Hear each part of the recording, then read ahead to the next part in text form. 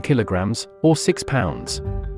They often raid nests to prey on bird eggs and hatchlings, but they also eat small mammals, insects, even carrion, and they can eat up to one third of their body weight in one meal.